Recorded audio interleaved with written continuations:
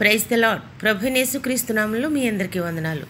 ఈ ఉదయకాల సమయంలో దేవుని యొక్క వాక్యాన్ని చదువుకుందాం. మత్తైసు వార్త ఆరవ అధ్యాయము పన్నెండవ వచనం. మా రుణస్థులను మేము క్షమించి ఉన్న ప్రకారము మా రుణములు క్షమించుము. ఆమెన్. మహాదేవుడును రక్షకుడైన యేసుక్రీస్తు నామమున మీ అందరికీ శుభములు. అందరూ బాగున్నారా? మీరు అందరూ బాగుండాలని దేవుని సన్నిధిలో ప్రతిదినం మీ కొరకు ప్రార్థన చేస్తున్నాం. ఈ ఉదయకాల సమయంలో ప్రభు నేర్పించిన ప్రార్థన నుండి ఒక అంశం మనము చదివాము. మా రుణస్థులను మేము క్షమించిన ప్రకారము మా రుణములను క్షమించుము అని ప్రార్థన చేయమని మన దేవుడు మన ప్రభువు నేర్పించారు. ఇక్కడ ఒక ప్రత్యేకమైన అంశం ఏంటంటే మనము ఎప్పుడైతే క్షమిస్తామో అప్పుడు దేవుడు మనలను క్షమిస్తారు. చాలాసార్లు మనము ఇతరుల మీద కోపము ఇతరుల మీద ద్వేషము అసూయ ఉంచుకొని వారిని క్షమించలేక మనం మాత్రం తండ్రి నేను పాపిని నన్ను క్షమించు అని పెద్ద పెద్ద ప్రార్థనలు చేస్తుంటాం. కానీ ఇక్కడ వాక్యంలో ఇంకా కింది భాగానికి వెళ్తే మనము ఇతరులను క్షమించకపోతే తండ్రి కూడా మన పాపములు క్షమించరు అని చెప్పారు. అయితే ఒకరి పాపము క్షమించబడలేదు అంటే వారు పరిశుద్ధులుగా మార్చబడలేరు. వారు పరిశుద్ధులుగా మార్చబడకపోతే వాళ్ళు పొరలోక రాజ్యం వెళ్ళలేరు. చూసారా?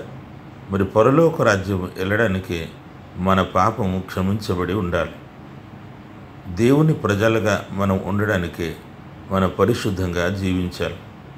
పరిశుద్ధంగా ఉండాలంటే పరిశుద్ధంగా జీవించాలంటే మొదట మన పాపం అంతా క్షమించబడి ఉన్నలే కదా? అయితే పాపమన్నీ క్షమించబడిన తర్వాత మనము ఇతరులను క్షమించకపోతే మన పాపము క్షమించబడదు అని అన్నారు కదా? మరి అలాంటప్పుడు మనం ఎలాగ పరలోక రాజ్యం వెళ్ళగలము? అందుకు మనము మన రుణస్థులను మనం క్షమించే ప్రజలుగా ఉండాలని ప్రభువు మాట్లాడుతున్నారు.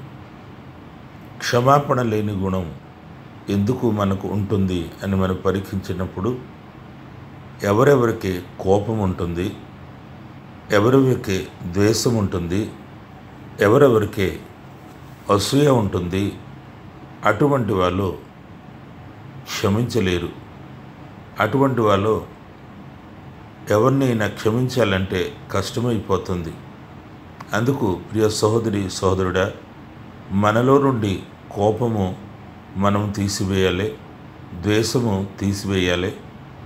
ఇతరుల మీద అసూయ మనకు ఉండకూడదు. ఈ మూడు విషయాలు మనకు లేనప్పుడు మనము క్షమించడానికే ముందుగానే సులువుగా క్షమించగలము. ప్రియ సహోదరి సహోదరుడా నీవు ఇతరులను క్షమించలేకపోతున్నావంటే ఒక్కసారి నీ హృదయమును పరీక్షించుకో. ఈ మూడు గుణాలు నీలోనే ఉంటుంది. నీలోనే ఆ మూడు గుణాలు ఉంటేనే నీవు క్షమించలేవు. అందుకు అటువంటి పాపపు స్వభావము మనలోనే లేకుండా మనము యేసు ప్రభు దగ్గరే ఆయన రక్తం ద్వారా క్షమించబడినట్లుగా శుద్ధి చేయబడినట్లుగా ప్రార్థన చేద్దామా? ప్రార్థన చేస్తే ఆయన తప్పకుండా బలమిస్తారు. ఈ వాక్యం విన్నప్పుడు నిజమే కదా నాలోనే ఇవి ఉన్నాయి అని అనిపిస్తుందా? అయితే ప్రార్థన లేఖించండి మీ హృదయమును దేవుని వైపుకు త్రిప్పండి. మహిమగల తండ్రి నీకే స్తోత్రము. నిజమే తండ్రి మాలోని కోపము ద్వేషము అసూయ ఇటువంటి పాపములు నివాసించినడలా మేము ఇతరులను క్షమించలేము. అవును తండ్రి మేము క్షమించిపోతే నీవు కూడా మా పాపము క్షమించవు అని చెప్పి ఉన్నావు గనుక మమ్మలను క్షమించుమని అడుగుతున్నాము. ఎల్లప్పుడూ మేము హృదయశుద్ధి కలిగి ఇతరులను క్షమించే హృదయం మాలోనే పుట్టించము. కోపము ద్వేషము అసూయ అటువంటి జీవితం మాలో నుండి దూరపరిచి పరిశుద్ధతలోనికి నడిపించి నీ బిడ్డలుగా తగ్గింపు కలిగిన బిడ్డలుగా సాత్వికులుగా ప్రభువా ఎల్లప్పుడూ తగ్గింపు కలిగి ఇతరులను క్షమించే గుణము కలిగి ఉండే జీవితం మాకు దయచేయండి. ప్రముఖంగా వీళ్ళందరి కొరకు ప్రార్థన చేస్తున్నాం. వారి పనిలో వాళ్ళ బిజినెస్లో వారి ప్రయత్నంలో వాళ్ళ ఉద్యోగంలో దీవించి ఆశీర్వదించండి. పిల్లల చదువు విషయంలో కూడా మేలు చేయండి. మా ప్రార్థన విన్నందుకు స్తోత్రం చెల్లించి యేసు పుణ్యనామలు అడుగుచున్నాము తండ్రి. ఆమె దేవుడు మిమ్మల్ని దీవించి ఆశీర్వదించునుగాక. గాక